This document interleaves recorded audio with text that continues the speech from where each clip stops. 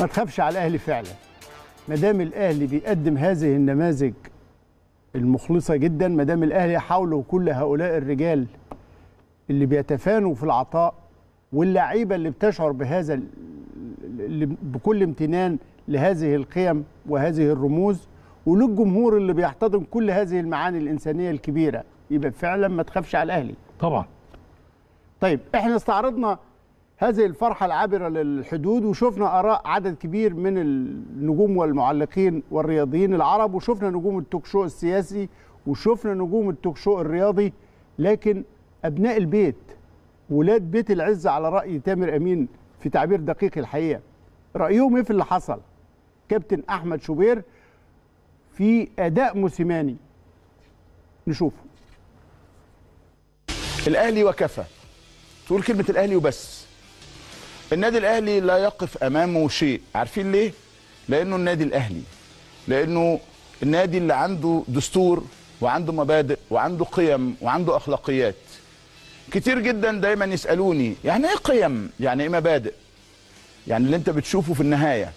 يعني انتصار يعني بطولة. يعني حتى لما يطلع خسران على طول بيطوي الصفحه ما بيجي لا يجي لا يجيد فن الحجج أو المظلوميات. ولكن العمل والبناء من أجل القادم. ده النادي بتاع الطموح اللي عايز طموح اللي عايز بطولات اللي عايز انتصارات اللي عايز يصنع تاريخ أهلا بيك في مدرسة النادي الأهلي. الأهلي هو المدرسة الحقيقية لمعنى الإدارة الرياضية. من زمان من زمان جدا مش من اليومين دول ولكن هذه الانتصارات قد تصل إلى العظمة وإلى القمة مثلما حدث مع صالح سليم حسن حمدي والآن مع محمود الخطيب. ليلة سوبر بجد ليلة بطعم ولون وروح الفانيلا الحمراء.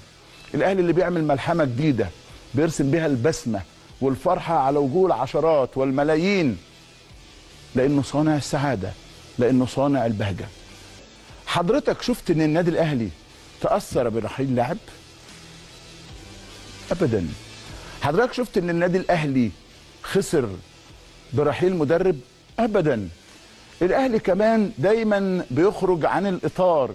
يوم جاي مفاجئك يجيب لك ساحر جميل كروي رائع اسمه بيتسو موسيماني.